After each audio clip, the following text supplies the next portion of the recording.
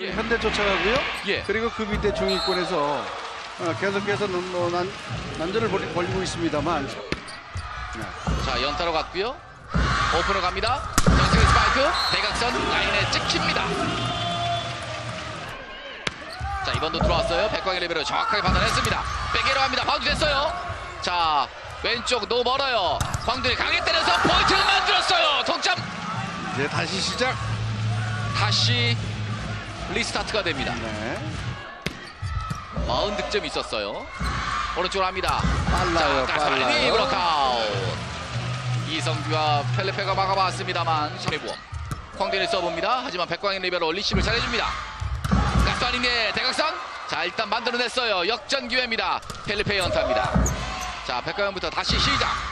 다시 가스파리니 직선 자, 쪽. 정민수 리베로입니다. 준지 스파이크 자 attack cover 됐어요 자 펠리페 쪽으로 오른쪽에서 펠리페!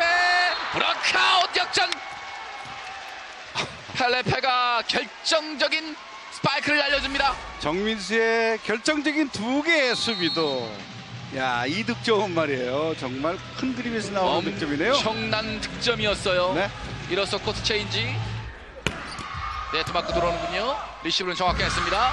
가스파리니 대각선 포인트. 정확합니다. 9대8 정민수 리베로가 힘을 내주는데요. 손현종의 스파이크까지 걸렸어요. 한선수 센터 동점! 자 강한 어, 싸움 들어왔어요, 서비스! 들어왔어요. 역전 펠리페 자 펠리페가 5세트에 팀을 이끌고 있네요. 써봅니다. 연타로 갑니다. 자 정확한 리시브 됐어요. 역시 속도로 가는군요.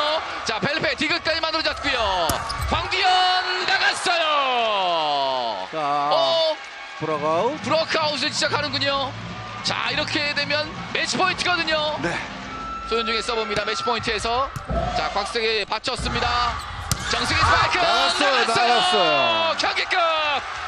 자 대각선을 노려봤어요 황택의의 손가락과 김홍정의 손가락 확인 결과 노터치로 판독되었습니다. 경기 끝납니다 KB손해보험이 올 시즌 처음으로 파이널 접전 끝에 승리를 거뒀는데 그것도 1위팀 대한항공 점보스였고 4라운드 첫 경기에서 3연패를 탈출하면서